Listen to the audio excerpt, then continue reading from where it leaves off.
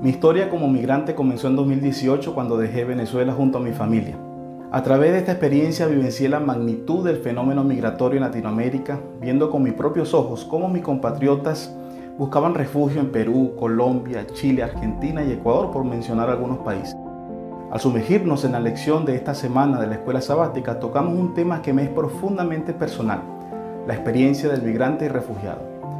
Recordándome que la condición del migrante no es ajena a la historia de la humanidad y mucho menos a la enseñanza de la Biblia.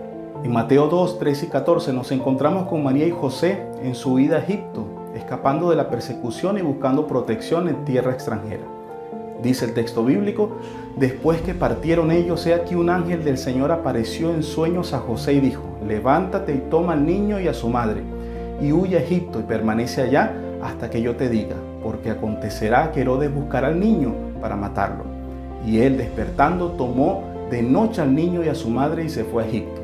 Como ellos, muchos de nosotros hemos enfrentado el desafío de adaptarnos a nuevas culturas, superar barreras del idioma, encontrar empleo y vivienda y quizás lo más difícil, hacer frente a la soledad y el anhelo por lo que dejamos atrás. La Biblia habla con compasión sobre el trato a los forasteros. En Deuteronomio 10, 19 se nos insta a amar al extranjero, pues nosotros mismos fuimos extranjeros en Egipto, dice la palabra de Dios.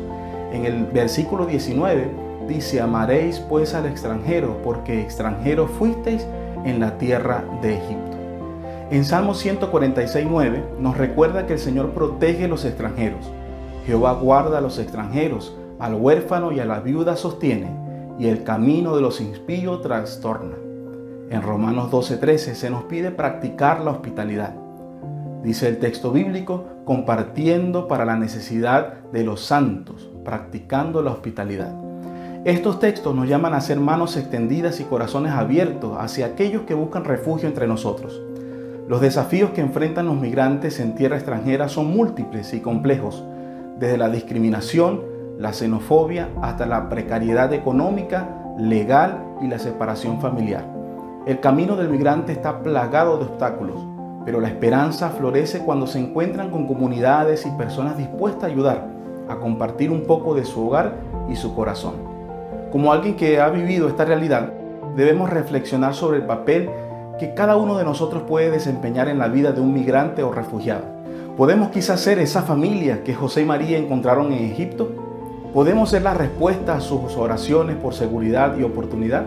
Muchos han seguido el ejemplo bíblico y han visto en el rostro del migrante y del refugiado no un extraño, sino un vecino, un amigo, un hermano. Su empatía y acciones no solo han proporcionado alivio material, sino que también han restaurado la dignidad y la esperanza a muchos. Hoy hago un llamado a la reflexión y a la acción. Miremos más allá de nuestras fronteras, de nuestras diferencias y veamos el rostro de Cristo en cada persona desplazada que busca ayuda. ¿Qué podemos hacer para ser verdaderos vecinos, para cumplir el mandato divino de amor y hospitalidad? Que esta reflexión no solo sea un momento de introspección, sino el inicio de un compromiso activo con aquellos que han tenido que dejar todo atrás en busca de esperanza y paz.